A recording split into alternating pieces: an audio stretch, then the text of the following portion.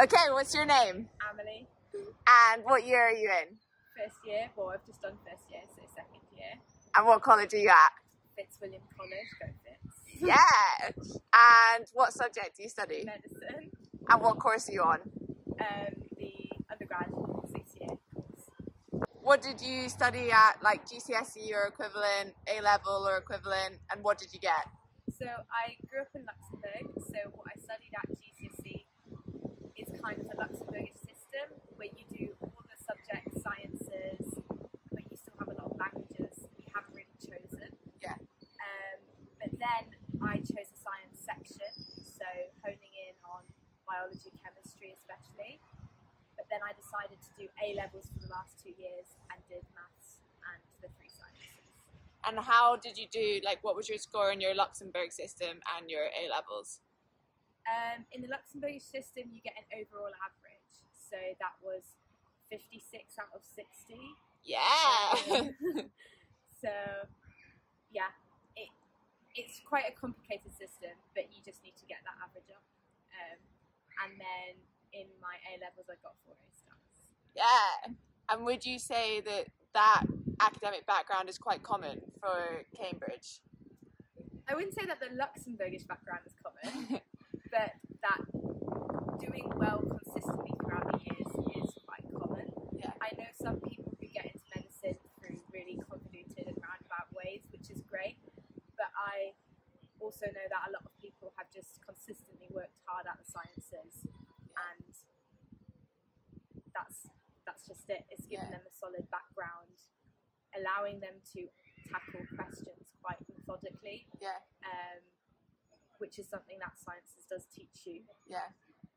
I would say that keeping some literature is good because you have to do a lot of writing to get into medicine, Yeah. and you have to do a lot of writing once you're in medicine. Yeah. Um, yeah. but I I do think sciences is a very standard route and it's helpful. Yeah. And so, when did you decide you wanted to do medicine? I think it wasn't as much like a definitive decision. I'd really enjoyed the sciences. I wanted to do something with that. I thought of physics. I thought of more just maths. Um, but I did quite a few volunteering in like hospitals or food shelters. Um, and then I worked in a lab for a year and as a paramedic. And I just really, really enjoyed it. And I could see myself doing it. Um, and it felt like all the work was worth sticking with the plan um, because medicine is such a long degree it allows you to really find your interests Yeah. and there's so many parts of it that even if you feel like you might not like medicine at some point there's so many other things you can do with it Yeah. so it's a really cool way to get a lot of sciences in. Yeah, absolutely. And when you worked for a year in the lab, was Yeah. that on your gap year? Or was Yeah. that yeah? So that's when I'd already applied. Yeah. I'd already kind of decided based on what I liked and what I'd done and online courses, but I hadn't been able to do much in-person experience stuff because of COVID, and because I got offered a deferred entry at Cambridge, I wanted to do something worthwhile during the year. So I managed to get the spot in the lab, which was great um, and I really enjoyed it. But it did really show me that I like both the research and the doing the medicine. Yeah. Um, that it, I, I don't know whether I could do just research, but in combination, that that would be. Yeah. And um, so when you applied to Cambridge, talk me through what happened. So, I mean, you do your UCAS application pretty early. Yeah. Um, you have to have your personal statement ready for that point. Yeah. Um, I was quite early on it. I wrote a draft that was, according to my teachers, pretty well done already, so I didn't have to alter too much about it. Yeah. Um, but a lot of work went into that statement before they even saw it. Mm-hmm. So making sure that everything that I'd written about explained the situation, the action I took with that, Yeah. the time it took me to do that, and response. I think a lot of people would have heard of that, like the star Yeah. format. Um, and even if it wasn't a very long paragraph about it, you know, making all of those factors in each sentence really makes it clear why you're doing medicine or why you want to do medicine. Um, and then, of course, I submitted all of that, had my interview. I had to have the interviews online, couldn't come in person again because of COVID. Um, and then heard back relatively late in February.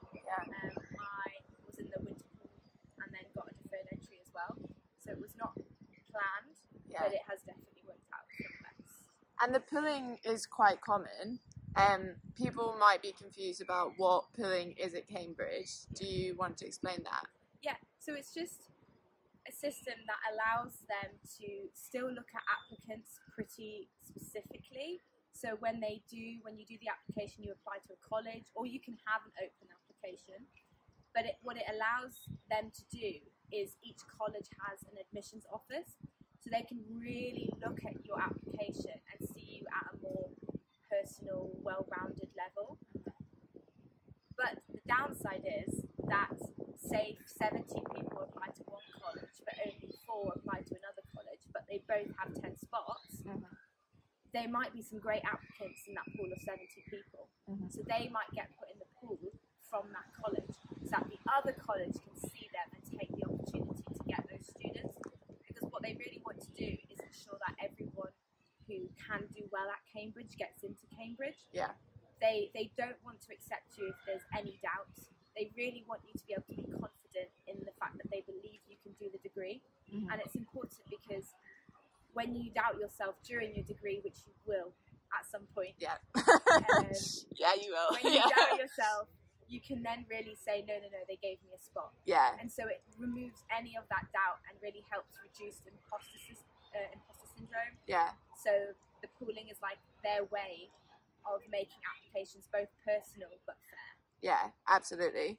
I think the pooling is particularly common in medicine. Yeah. Um, I don't really know why it's so common in medicine, but like I, most of my friends at some point have been pooled in some either the winter or the summer pool. I think it's because there's so many applicants Yeah, and no one really knows which college takes more medics. yeah, So you you just don't know and it fluctuates where the medics seem to apply. yeah, Whereas like geography is very different, as in a lot of geographers apply to Fitz.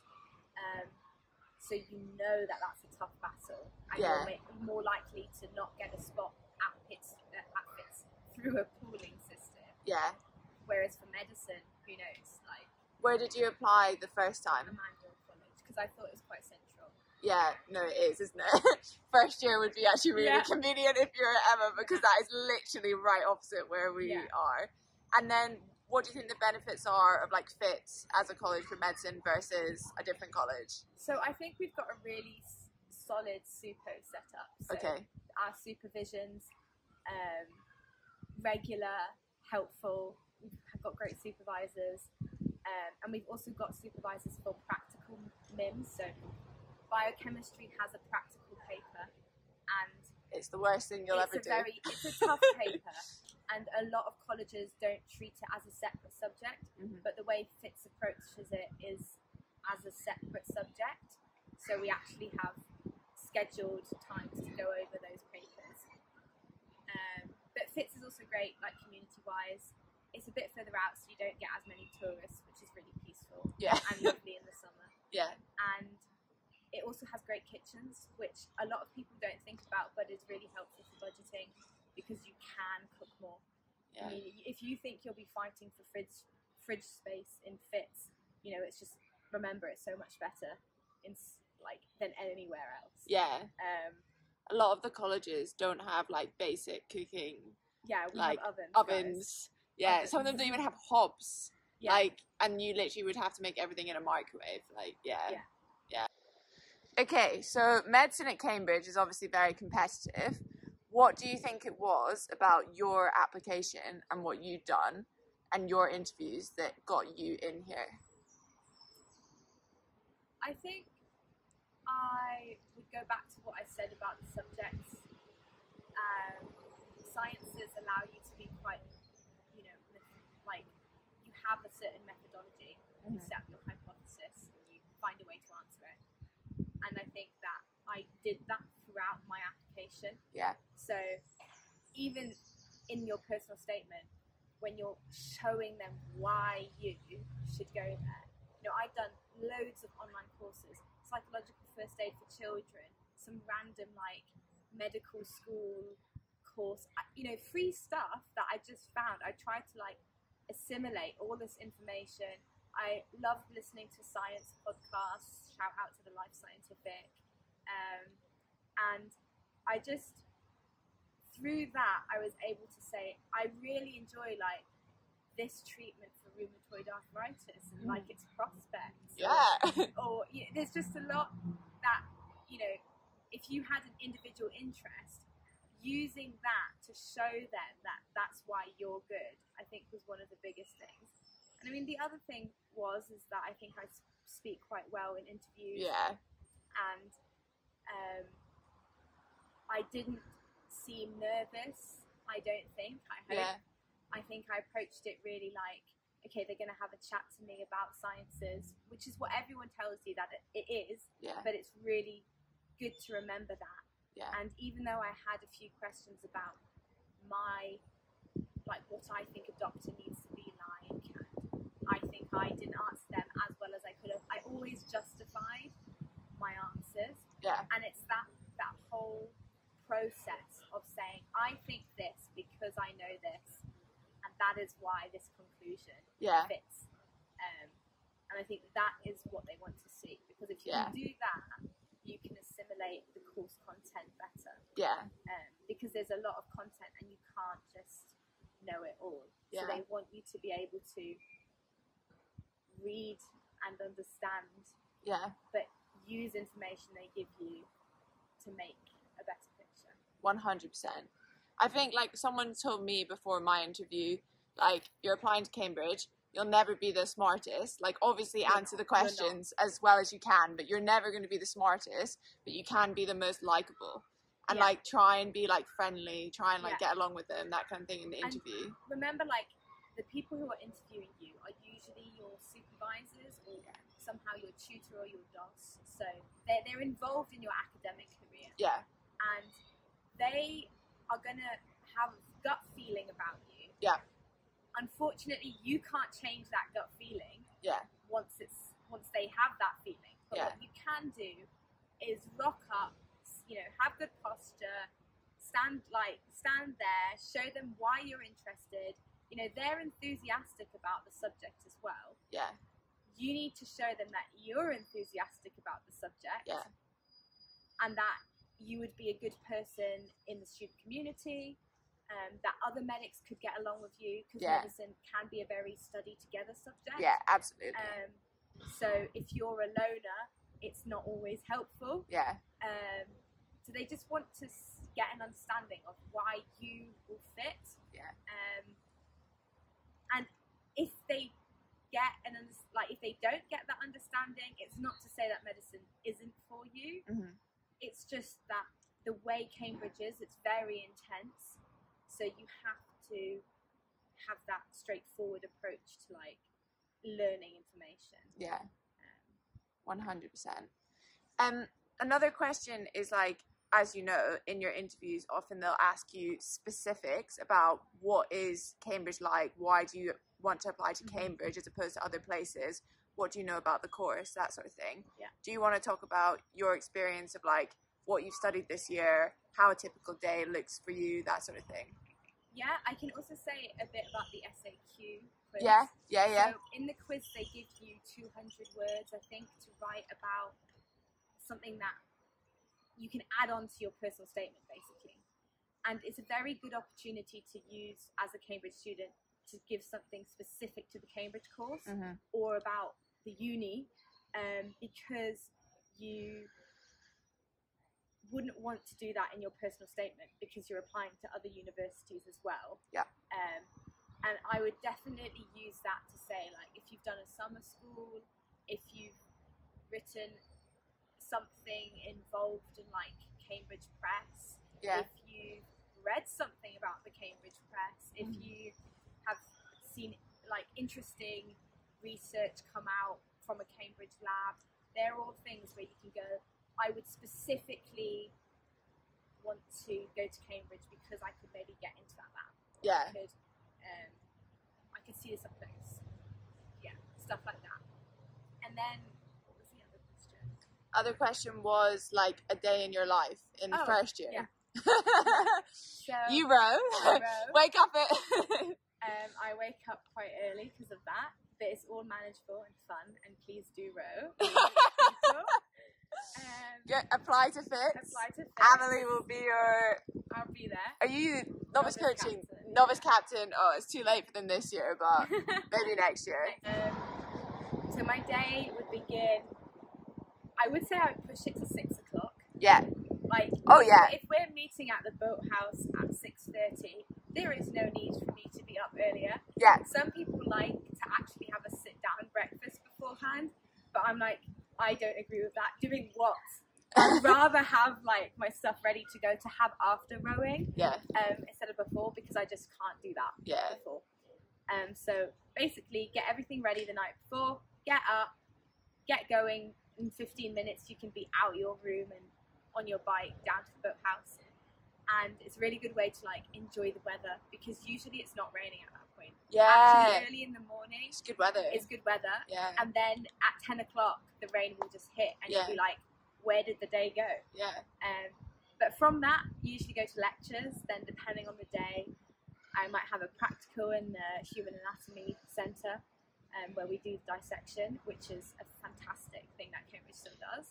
Um, back to lecture, Yeah. back to another practical after lunch, um, and then maybe from there either straight to another rowing session Yeah. um, straight to weights, um, straight to Aldi to go shop. Like Yeah. I definitely try and tie stuff in to like one journey, so I'm not making multiple bike trips, and relax a bit. Do some work in the evening. Yeah. Maybe have a supervision. Yeah. Our supervisions are at any hour of the day, basically. Yeah. And you've really got to appreciate the effort that the supervisors put in as researchers or doctors themselves to come and teach you. Yeah. But it does mean that you will learn to work at late hours sometimes, Yeah. and um, that that's then how the day finishes. What time do you go to bed? I often try to at least like wind it down around. Yeah. um, I don't want to be doing something that will get me more like involved Yeah.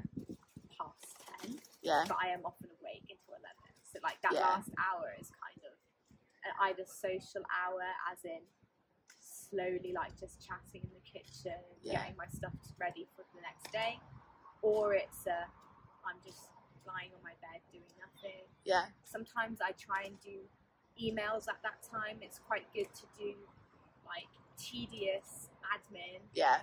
later because your brain's off but you're still Yeah. working. So you don't use your your energetic hours Yeah. for emails. How many? Now that I'm done, it, first year so Yeah. long ago it feels like I can't actually remember. it. How many lectures a week did you have roughly?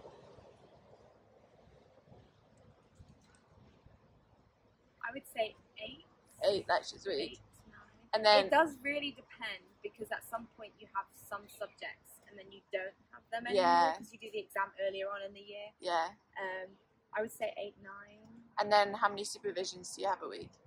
By the way, lectures are about an hour. Yeah, yeah. Um, fit supervisions. So we have one in anatomy each week, one in physiology, one in biochemistry, and then we have ones that are kind of every second week. So I would say five, six. It would. I've had a week with eight. Yeah. Um, that's just how it is. Yeah. I've had double supos as well, where Yeah. the supervision was two hours, Yeah. and I've had a day like a Saturday morning with three in a row. Yeah. Um, but I would say on average five. And then they're normally about an hour. Yeah. Fine. And then how many like practicals and stuff do you have a week? It does vary, but you have basically alternating a histology practical or a physiology practical. Yeah. So that's two hours, three hours, depending on the practical. Yeah. each week. You have two lots of sessions in the dissection room. So that's four hours. Um, the way the dissection stuff works is you get a group. It's quite stressful at the beginning knowing which group you're in, and Yeah. it's a lot of information. Yeah. Um, but you get there, and you either so you have dissection. Say you're the group A, you'll have dissection on Monday and Thursday, so 10 to 12 both times. The dissection will be like one hour of that two hour block, other hour is either the annex or applied anatomy.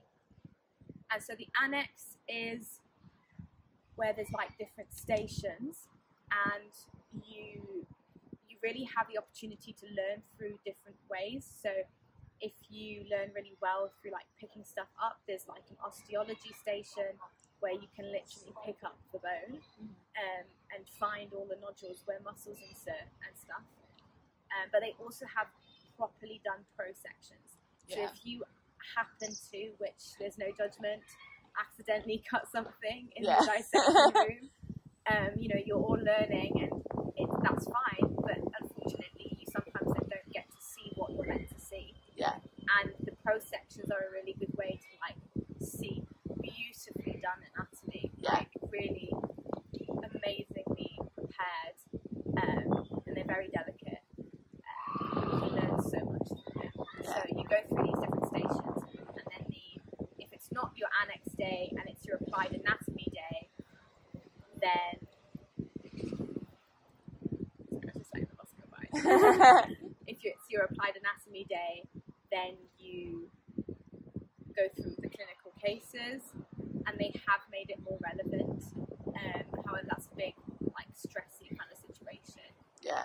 um, because there's so much to get through in an hour. Because clinical cases are actually, believe it or not, quite complicated. Yeah. yeah. And okay, and then the way they do it at Cambridge. Yeah. So Cambridge, and they're actually doing a review of how they're teaching stuff at the moment because the GMC tells them they have to do a review, but also they know that like if they want to be the top uni, Yeah. you know, there's only so much relying on the students being great. Yeah. Like they have to keep up with the best ways to learn and Yeah. what to do. But what they do is you learn like your upper limb, you learn your thorax, then your abdomen, and then your lower limb. And instead of learning via systems, so you don't learn the nervous system, um, you can have like an introductory lecture on the nervous system, but it's up to you to link it all together when you learn the region. Mhm. And if you don't do that linking, you you actually have very limited knowledge, to like specific regions, but you don't actually know where the structures then run. Yeah. So that would be the thing you then have to work on later in life as a doctor, Yeah. or if you want to be a surgeon, you definitely have to work on it because you need to know how it all relates the whole wing along the structure, Yeah. not just like in a specific region around the elbow. Um, and so Cambridge is trying to address that. However, the benefit of that is you do learn the systems multiple times over Yeah. and you learn a lot about them in a lot of detail Mhm. because you really focus in on specific areas Yeah. and so you get an understanding of how there's a lot that can be going on in one area and damaging one little thing can be really really easy Yeah. um, and go wrong very quickly Yeah. it also allows you to have um, quite defined revision Yeah. which although may seem like a minor point is quite helpful to be able to say like i'm going to cover the upper limb One point one. Yeah. One point two. i'm going to cover the thorax yeah. um, and not always have to link everything into a massive picture. Yeah. But it does mean that that linking job is left to you later on. Question I have for you is: Do you use Anki or what do you use as your? So I did use Anki, but I didn't make my own deck. Okay. I don't know whether that was the best way. Yeah. I was very persuaded when I started uni to try different learning methods, Yeah. even though I believed that I'd done really well in A levels with what I'd done. Yeah. You were just told try new things. Yeah. And I don't think that it worked for me to like completely uproot how I did stuff. Yeah. Especially typing notes, it just didn't work. No, I don't like typing I either. can only annotate notes, and so in the end, I had a massive like panic. Yeah. and was like, I'm printing stuff out now. Yeah. Same. yeah. So that's what I'm at. Printing but- credit minus five hundred pounds. Yes. Yeah. yes. Um, but So it's worked, and I passed. You and I just print, annotate, and learn. print, pre-read it, annotate, and the printing made me keep on top of things Yeah. because I have to have printed it before I go to the lecture. Yeah. Um, whereas when you're downloading a PDF, it can really quickly just slip into downloading the PDF as you sit down, Yeah. rather than actually doing your part of the job, which is rereading um, the lecture. Unfortunately, What is your favourite thing or favourite subject at Cambridge? oh, Best thing about medicine? best thing about medicine, I did really love the dissections. Yeah. Um, it felt so hands-on when you're learning so much theory. Yeah. um, it was just done really well. Yeah. Really well. It's not everyone's piece of cake, but I really learned a lot through it because you can just see what you're studying. Yeah. Um, and that's really fun. Um, my least favourite part, I know you didn't ask for it, um, but I would like to say it because it's a real story of not enjoying and then learning to enjoy it more. Yeah. It's histology oh, yeah. Yeah. Yeah. it, they they don't teach it in a very They don't teach engaging full stop. way. Yes, it's quite. It's very much your job, Yeah. and then you just look at slides and you don't see the stuff because you don't know. You know, Yeah. These are people trying to explain their genius to you, Yeah. and they recognize different cells with an instant. Yeah. But you, having never looked at cells with all the different dyes Yeah. and everything, you just don't know what's going on Yeah. and it, it was horrible. But then, when I actually like crash coursed it before the revision session Yeah. um, to study, because we have an obligatory revision session, Yeah. it's Cambridge. Yeah. Um, before when I crash coursed it before then, because I was like, there's no point going to the session if I've not revised. Um, I understood what they were trying to get us to know, Yeah. which helped me understand it more, and then I did really well in histology. Woo! Yeah. Yeah, So Amelie. it's definitely one of those subjects that like stick with it. Yeah. You don't have to do it throughout the year devotedly, Yeah. but if you crash course it to give yourself like an overview of what am I looking at, and Yeah. you start seeing the cells, you start seeing stuff. yeah. I have another tip for them, which is um, the Human Tissue Act means that they can only use so many images. Yeah. So memorize the images that Yeah. you've already seen because there's very good odds that they are going to come up again. Last question. Do you have any tips for anyone applying to Cambridge medicine? Um, definitely do the online courses if you can't do stuff in person. Yeah. You know, it doesn't have to be something that costs money, and you don't have to pay for the certificate because Cambridge don't care. Yeah. If you tell them that you've done the free online course and talk to them about something you found interesting in it, they're far more interested in that Yeah. than whether you actually did the course. Yeah. It's not as if you send in these certificates to get UCAS points because a lot of them aren't even recognised via UCAS that way. Yeah. Um, so that would be my one really big thing. My second thing is just be really calm in the interview. You know, they want to see whether you can be a doctor. Doctors should be calm. Yeah. Um, there is at no point where doctors should be more stressed patient. Yeah. However, you know, we all know that that can happen Yeah, and yeah. probably will happen to all Yeah. of us. Um, but you should at least be trying to manage it. Yeah. And so one of the big things is can you still think and use your brain when you're stressed? Yeah. Because your heart is pumping in that interview. Yeah. You are thinking like, how can I answer this really, really well? And the best thing to do is to just voice your thoughts Yeah. one by one. You know, say, I think this because, and that that's just really my like key tip. Yeah. Voice everything you're thinking because then they can like lead you in the right direction. Yeah. They will literally help you answer the questions if they know what you're thinking. Yeah. If they have no clue and you're silent, they cannot give you a tip. They Yeah. cannot be like, "Have you thought about this?" Because they they literally don't know. Yeah. And that would be my other big thing. Amazing. Thank fi- Oh, no, no. Go, go, go. and finally, just just do the work. Yeah. do the work. Um, it's so worth it. It's so worth the community you get out Yeah. of Cambridge. It's a really intense but amazing time. So we really want everyone to get in. Yeah. Not everyone will get in. Yeah. So just do the work. Yeah. Just do the extra reading. Yeah. Listen to a podcast. You know, write about something you like, so that you have an interest and a passion in your subject. Yeah. Um, and then they'll see that, and it'll be great.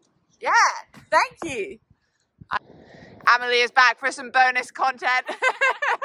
She's going to tell us all the really cool things that she did and wrote in her personal statement. Yeah. You can just bam them off if you want. Okay, I think I'll just start with like what I started first. Yeah, And so I started ballet when I was three. Yep. Shout out to the RAD system. Yep. Um, and I really stuck with that. I absolutely love it, and it opens so many different avenues in dancing. Um, so I did all my exams in that, and um, yeah, that was a really great thing because I think Cambridge, although they say they don't want to admit people based on sporting achievements, they do like when you've stuck with something and really shown that like you can do it for a long period of time yeah, especially for medicine Yeah. because that's what medicine is a Yeah. long period of time um, you'll devote your life to it I Yeah. think.